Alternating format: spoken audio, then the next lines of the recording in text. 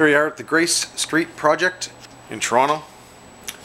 Installing a French drain around the perimeter of the property. You can see here weeping tile with the sock to keep out the sediment. We've gone all around the exterior of the perimeter. You can see by the older red brick here that it's been deteriorating, so we've had to reparge also along the interior of the foundation just to ensure the structure of the brick on the inside stays intact. So the weeping tile tucks in underneath the foundation, which spits into a forward section of the home that was obviously put in after it was built. You can tell here by the uh, rather wide width of the wall. So the French drain weeping tile spits out here, goes along the trench.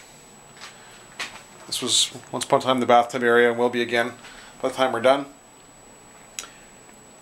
Goes all the way across and ties in, as you can see up there, which is and will be a storage area. If we take it back around, heading back into more of the common area of the basement apartment. Off to the side, this is a, uh, a bedroom. Once upon a time living room, again will be once we're complete. You can see the French drain continues along the outer perimeter there.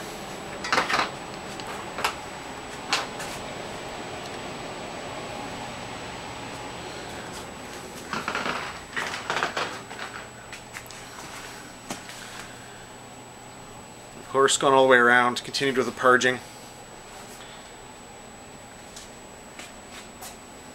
This area here was the kitchen. We're putting in a new uh, galley style kitchen once we get all the framing and obviously the interior weeper done. So this goes all the way around the perimeter here. See a window that's being hidden. Uh,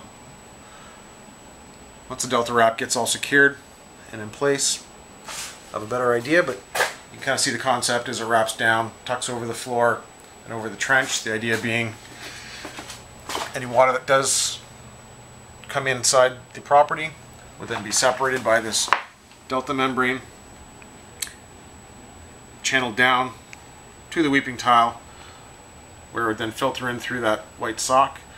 sock keeps out any sediment so that the interior black weeper can continue and channel the water all the way around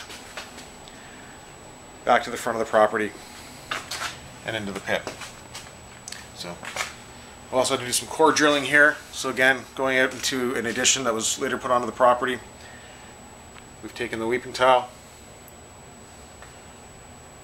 underneath the foundation into the laundry area here, where we've again continued that all the way around, continued with the parging. And there you have it. It's about 110 feet of weeping tile all around the perimeter.